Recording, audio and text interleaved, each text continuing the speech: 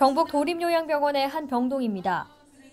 이곳에서 지내는 환자들 중에는 평소와 다름없이 지내다 순간 자녀나 친지를 못 알아보거나 무언가를 깜빡깜빡 잊으시는 분들, 과거에 상처나 충격을 받았던 기억에 멈춰 한 번씩 감정 조절을 못하는 사람 등이 있습니다.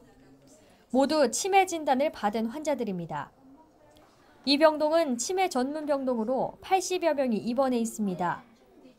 경북 도립요양병원이 전국 최초로 치매 안심병원으로 지정돼 이곳 치매 환자들은 함께 생활하며 전문적인 치료를 받습니다. 마음이 좀 진정이 되세요? 조금 차분하게 조금 명상을 하신다고 생각하시고요. 심리 안정실, 이른바 스노즐렌실에서 작업 치료사의 설명에 따라 청각, 촉각, 후각 등 감각에 반응하며 인지 능력을 활성화시킵니다. 윷놀이를 하며 손뼉치고 큰 소리를 내면서 감각을 활성화시키기도 합니다.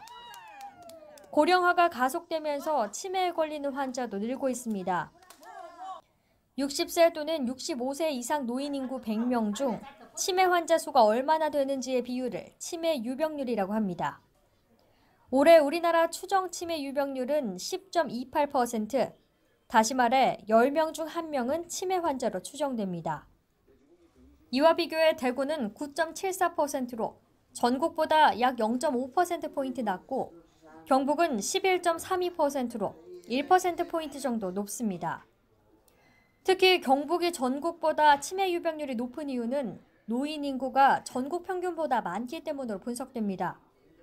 구체적인 우리 지역 통계를 살펴보면 올해 대구는 65세 이상 인구 37만 명 중 치매 환자가 3만 5천여 명, 경북은 53만 명 중 치매 환자가 6만 명에 달할 것으로 나타났습니다.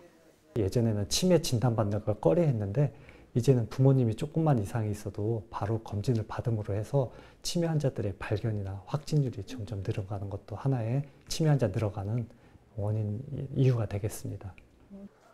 치매는 고칠 수 있는 질병은 아닙니다. 다만 전문가들은 치료를 할 경우 진행 속도를 늦추거나 심리적인 안정을 취할 수 있는 만큼 조기 발견이 중요하다고 강조합니다. 그 나이가 들면 기억력이 떨어지는 게 당연하다고 생각할 수가 있는데 치매의 어, 사인 중 하나가 기억력이 떨어지는 것이에요. 치매의 조기 징후일 수가 있다는 거죠. 그래서 이 정확한 진단을 위해 신경심리평가를 받아보는 것을 추천드립니다. 헬로티비 뉴스 김신혜입니다.